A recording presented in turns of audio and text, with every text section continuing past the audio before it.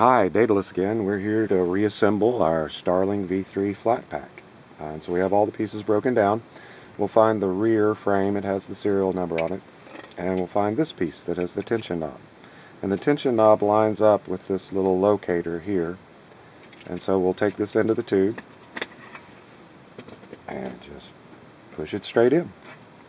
Same goes for the other tube. The tension anchor will go on the other side. And now all we have to do is put the face on. So we'll just slide the face on the tubes on the top. Alright. Now we'll set it on a known flat surface to make sure that everything went together real square so we don't have to, it's not hiking a leg up or anything. So that's nice and flat. Now that we have it nice and flat, we're going to tighten the four bolts in the in the corners here. So we have one back here. We don't want to over tighten these. They don't need to be like death grip tight. But you want to bring them down until these two pieces here kind of meet flush with each other. So you just kind of run a finger across that and feel. And I'd say that's perfect.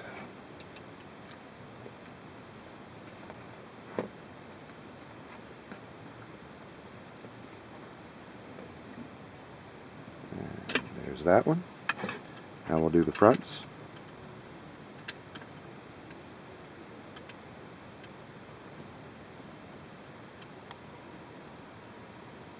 All right. And one left.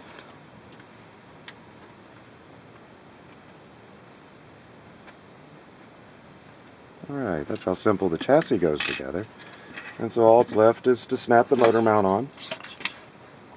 I just kind of line that pulley up sort of even with the face here.